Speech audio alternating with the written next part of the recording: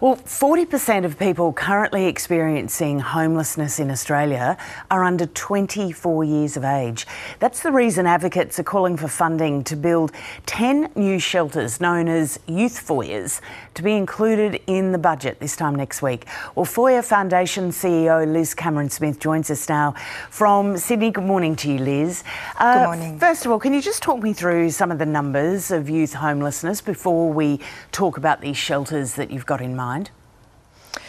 Sure, Lisa. So at the moment in Australia, we are facing an enormous crisis on three fronts.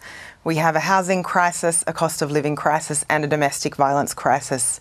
And at the heart of that are 40,000 young people who have nowhere to live, they're alone, and they are seeking support. So it's, a, it's an impending crisis that really affects not just the future of these young people, but also the future of our country and our economy. So, talk to me about these uh, accommodation ideas, the the ten that you would hope that the federal government could find its way to fund. Sure. So, a youth foyer is essentially a safe place where young people in this situation can live for up to two years.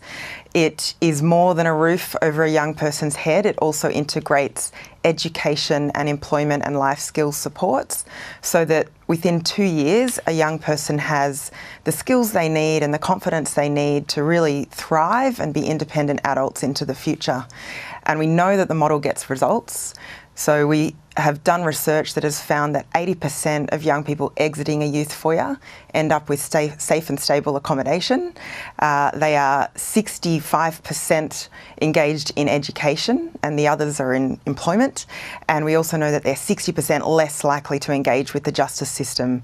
So it really gets results across a whole range of outcome areas, not just housing. So when you say you know it works, is that because there are similar ideas that are already being done or?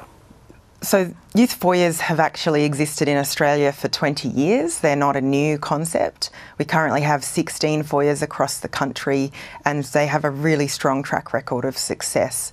So, that is the reason why we are calling for an additional investment in a further 10 foyers nationally. We know right now there are 33 communities across the country calling for new youth foyers, and what we have proposed is a list of those that are actually ready to build right now and meet the urgent needs that we're seeing in communities across Australia as we speak. Liz, just tell me a little bit about Foyer Foundation that you're the CEO of. I'm not familiar with it.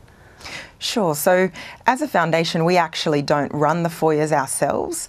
Our job is really to grow the reach and impact of foyers, to build the evidence base, to make sure that every foyer is operating at a high standard through an accreditation process. And we also join up all of the different service providers across Australia uh, with philanthropists and investors that are seeking to see more youth foyers in communities around around the country. Liz, one of the problems that we often face when we're talking to people like yourself is that there's just not the staff out there to try and make these things happen. So, what's your response to that? Because I imagine these organisation, these accommodation blocks would require people there helping.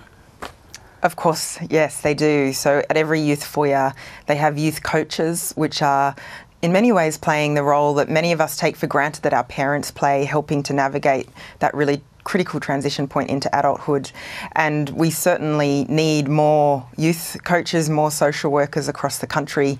Um, but ironically, actually investing in youth foyers is creating a future pipeline of staff just like this. Uh, we see many young people who've been living in a youth foyer go on to have careers in, in social work and other care industries, which we know is a growing need and gap in the Australian economy. So giving these young people a chance to actually build careers into this space is also building the workforce for the future. Liz Cameron Smith, thanks for joining us this morning. Good luck with it all, a week out from the budget. Thanks, Lisa.